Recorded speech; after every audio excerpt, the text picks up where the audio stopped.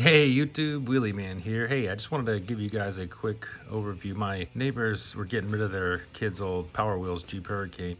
They sent it our way, and I know the 12 volt battery is decent. I think the low speed goes two and a half miles an hour and the high speed goes five miles an hour. He wanted a little more power, so we ended up doing an 18 volt conversion on this thing. Let's check this puppy out.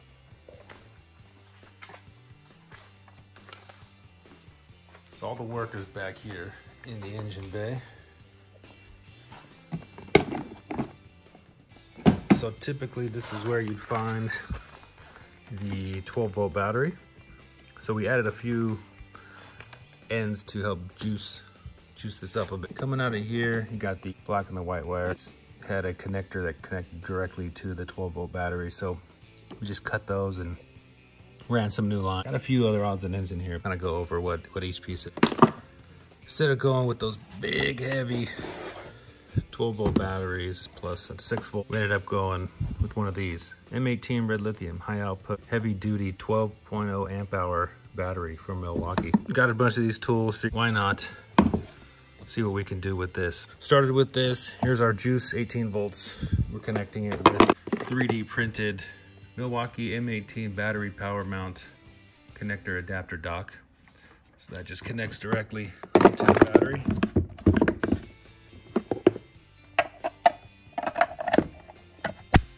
Powers up this whole thing. That immediately turns on this guy down here. So it gives me a current uh, voltage reading, 19.5. I haven't charged it up and he's used it for, uh, I don't know, 30 minute run a couple days ago. So haven't charged it since, but got this wired connected directly to inline 40 amp fuse protector, but just ordered this on Amazon or no, I think I got this one on ML Toys, I believe. I'll put links in the description for all these items. Just connected it with a couple quick disconnects.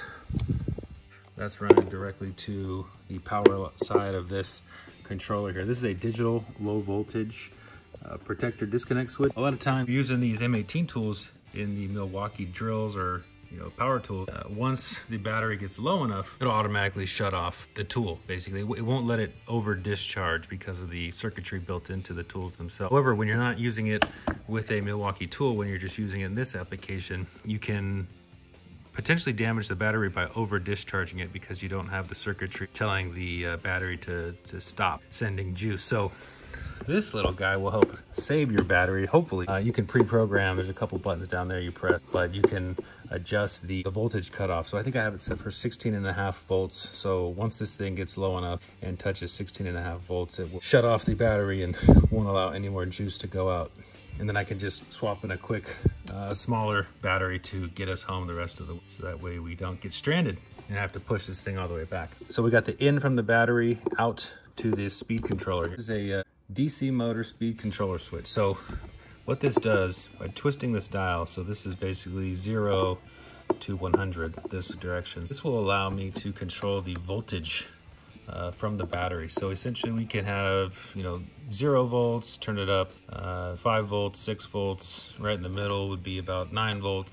12 volts, 15, and then 18 volts. Depending on who's riding this thing, whether it's a three-year-old who doesn't have any experience driving, we can just dial down the power and it becomes a lot more manageable. Or if my son is getting really used to it, we just crank it up all the way and uh, he can have 18 volts of pure, pure pleasure driving this thing. And that's pretty much, pretty much the in from the battery connected to the fuse on the power side.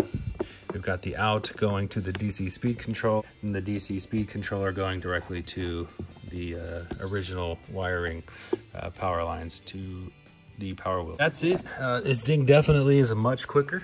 I think I've recorded him on GPS about seven, maybe a little over seven miles an hour on uh, the top end second gear. This thing's got two speeds. Oh, it's got three actually. It's got a reverse gear. It's got a speed one forward and speed two forward. Speed one goes about five miles an hour now, top speed at 18 volts, and then speed two will do about a little over seven miles an hour. I'll post some video of what it looks like now as it's got a little more comfortable, a little more used to the speed. We took it off road the other day, so I'll, I'll put some highlight reels shortly. That's the, uh, the project, and uh, let me know if you have any questions in the comments below. Thanks for watching, everyone. Don't forget to give a thumbs up. Please like, subscribe.